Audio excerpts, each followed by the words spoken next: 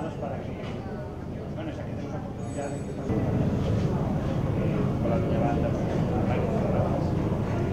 estamos para ya no 2019 queremos traballar,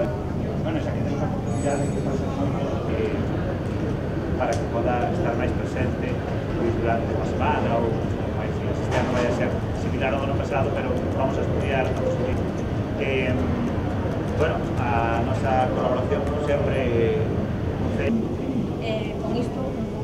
día o que é a programación. Tamén estamos en plena elaboración, xa, xa levamos uns días eh, elaborando en colaboración co CSD Arzúa, o clube, o clube de fútbol,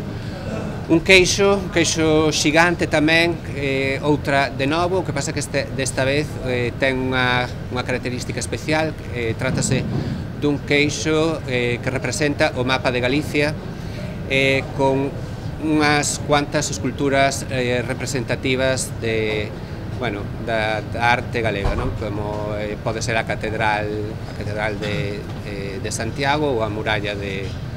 de, de Lugo. Eh, sabedes que o Cristo é o que estábamos justamente con Cristo País, o seu Cristo País, e, bueno, nesta mesma línea estamos.